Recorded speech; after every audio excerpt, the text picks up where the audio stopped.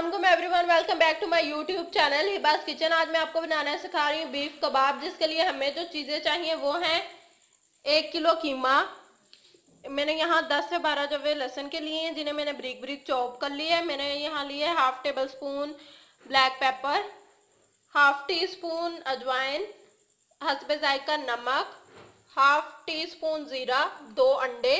यहाँ मैंने सात से आठ छोटी सब्ज़ मिर्चें लिए जिन्हें मैंने चॉप कर लिया अच्छे तरीके से। तीन टुकड़े लिए मैंने ब्रेड के, तीन स्लाइस लिए और यहाँ पे मैंने लिया है हसब ज़रूरत दूध। हम इतना दूध लेंगे जिसमें ये जो ब्रेड है वो अच्छी तरह गीली हो जाए। अब हम सबसे पहले ये जो ब्रेड के पीसेज हैं उन पर दूध डाल देंगे और इनको अच्छी तरह सोख कर लेंगे ताकि ये नरम हो जाए अच्छे तरीके से।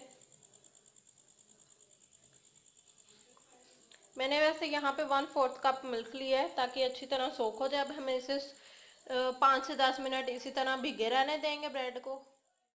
अब जब तक हमारी ब्रेड भिगी रहेगी तब तक हम कीमे में डालेंगे अजवाइन। फिर हम लोग इसमें डाल देंगे ज़ीरा और फिर इसके बाद हम लोग इसमें डाल देंगे काली मिर्च। अब हम लोग इसमें डाल लेंगे नमक।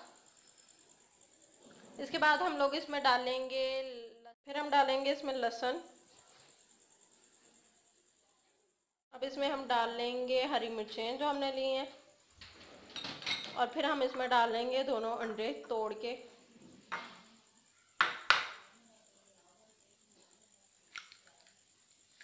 अब हम इसमें अंडे डालेंगे एक एक करके तोड़ के। अब लो, हम लोग इसमें डाल देंगे ब्रेड, जो हमने भिगोई है वो डाल देंगे इसमें। और डाल के इस पूरे मटेरियल को अच्छी तरह हम लोग मिक्स कर लेंगे। अब हमारा जो कीमा है, मैंने उसे अच्छी तरह से मिक्स कर लिया है। मैं इसके चार से पाँच कबाब बना लूँगी। मैंने जो इसके चार से पाँच कबाब बना लिए हैं, अब हम लोग एक फ्राई पैन लेंगे। तो गाइस अब हम लोग एक पैन लेंगे। उसमें हम हंसबे ज़रूरत तेल डालेंगे, जिस तरह के हमें कबाब को फ्राई करने के लिए चाहिए। अब हम इसमें तेल डाल। लेंगे आपने उस हिसाब से डालना है, जितने का आपको कबाब आपने फ्राई करने हैं और जितना तेल आपको चाहिए। अब मैं इसे तेल को एक से दो मिनट अच्छी तरह गर्म होने दूँगी मीडियम फ्लेम पे। एक चीज़ और गाइस हम लोगों ने जब ये बनाना है, कबाब तो हमने इसका चूल्हा जो है वो बहुत ज़्यादा तेज़ नहीं रखना, क्योंकि इससे जो हमारे कबाब हैं वो अंदर से कच्चे रह जाएँगे, ऊपर से तो ब्राउन ब्राउन या ब्लैक हो जाएँगे, लेकिन अंदर से वो कच्चे रह जाएँगे, इसलिए हमने इसे बिल्कुल लो फ्लेम पे अच्छे तरीके से बनाना है। अब मैं इसे तेल को गर्म होने देती हूँ।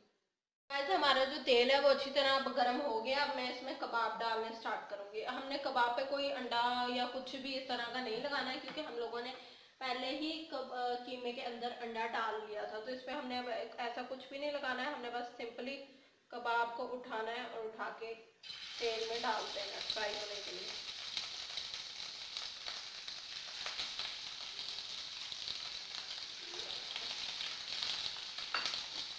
अब हम इसको एक तरफ़ को अच्छी तरह फ्राई होने देंगे, फिर हम लोग दूसरी साइड पलटेंगे और उसको फ्राई होने देंगे।